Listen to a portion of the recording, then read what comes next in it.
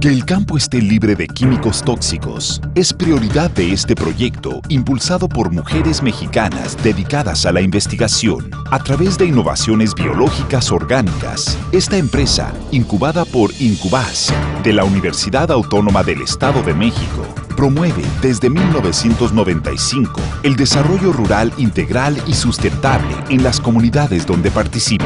Mi hermana y yo nos asociamos para trabajar en esta área de la producción limpia de alimentos. El objetivo de nuestra empresa es desarrollar tecnologías biológico-orgánicas para controlar plagas, enfermedades y fertilizar los cultivos. Hemos logrado ganar algunos premios a nivel estatal, nacional e internacional.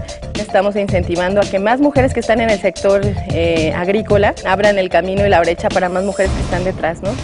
A lo largo de estos años, ellas han sido galardonadas con diferentes premios y hoy demuestran que Nafex sigue siendo una empresa comprometida con el medio ambiente y la excelencia, la competitividad y la generación de riqueza y empleos para México.